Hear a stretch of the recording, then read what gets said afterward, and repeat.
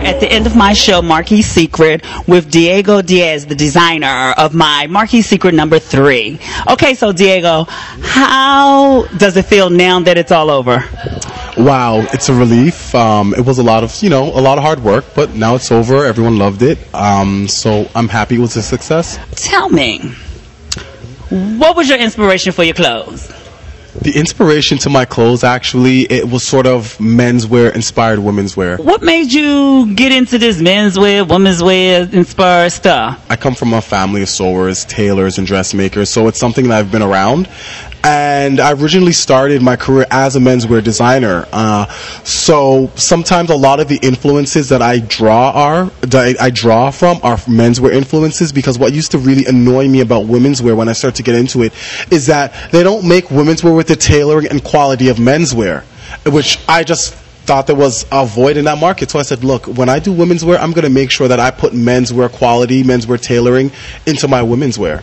Wow, you know, then I think that's interesting because what I like about what I see you do is I think that your clothes for men are fun, and I'm always looking for fun men clothes. I it's interesting that you say that the women's clothes don't have the men's wear tailoring when I feel that um, we need men's designers to do some more fun clothes for men, and I think that you do that. So how did you wind up incorporating that fun feeling into the men's clothing as well?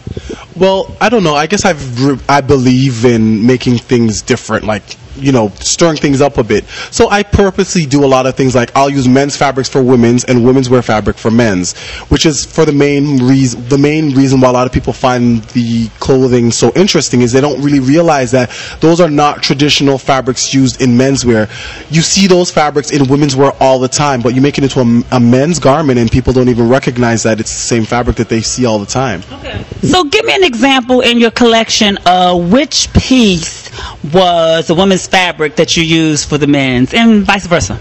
Uh, the sweaters are a good example. For instance, there is the cowl neck eyelash sweater. It was a black sweater with a big cowl neck. I was wondering, that was a real eyelash or is that just the name of a fabric? No, no, no. It's polyester. That's just the name of the fabric because the little, uh, the little fuzzy things look like eyelashes. So they call it eyelash. They really call it eyelash. Wow. We learned something new. There's some eyelash fashion fabric for sweaters. Okay. And I had eyelash in two colors. I had the, I had that golden brown, and I had the black.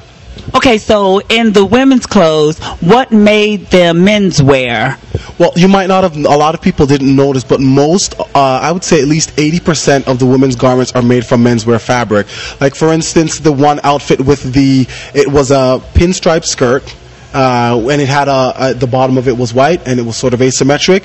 The bottom of the skirt is actually what is men's uh, white shirt uh, fabric, like shirting, and the actual body of that skirt is actually men's suit fabric, and the actual the the top of it that was the purple stripes that's actually men's jacket lining. That's actually jacket lining from menswear.